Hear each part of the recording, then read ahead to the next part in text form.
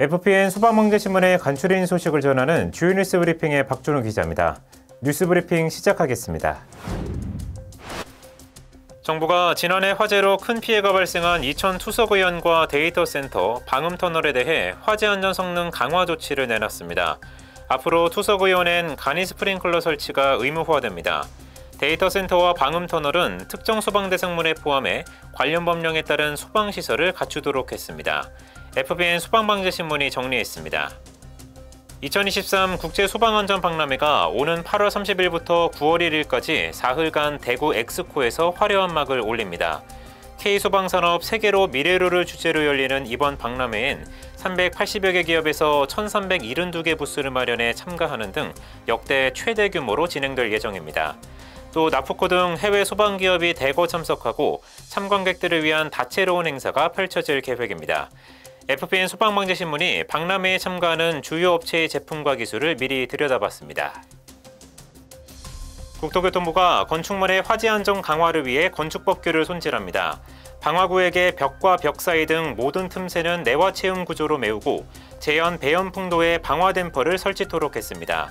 또 자동 방화 셔터 설치 시 열 감지기 대신 특수 감지기를 구성할 수 있도록 개선했습니다. 3년 전 본격 도입된 소방시설공사 분리도급과 관련해 구체적인 예외 대상 범주가 설정됩니다. 소방청이 8월 24일 행정예고한 관련 고시 개정안에 따르면 소방공사 분리발주를 하지 않아도 되는 범위는 문화재 수리업자와 재개발, 재건축 사업 중 일정 규모 이상으로 설정됐습니다. 구체적인 범위는 부지 면적이 만 제곱미터 이상인 재개발 공사와 부지 면적이 만 제곱미터 이상이며 건축물 세대수가 200세대 이상인 재건축 공사 등입니다.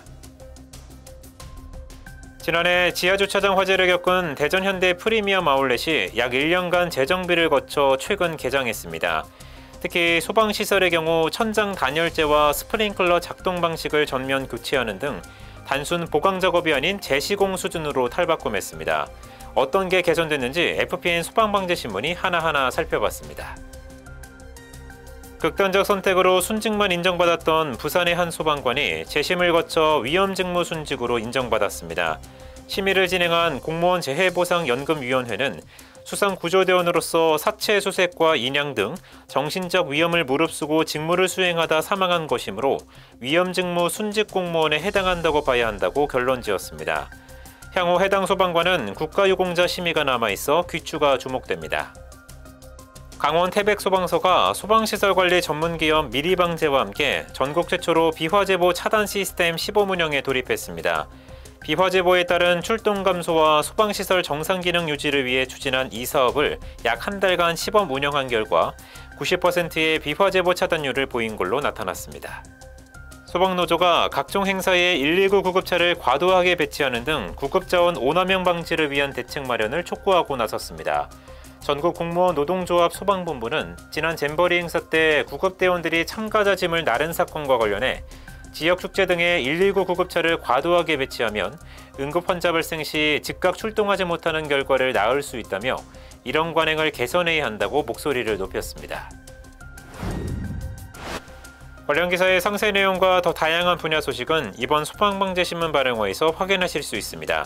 지금까지 주요 뉴스 브리핑의 박준호 기자였습니다.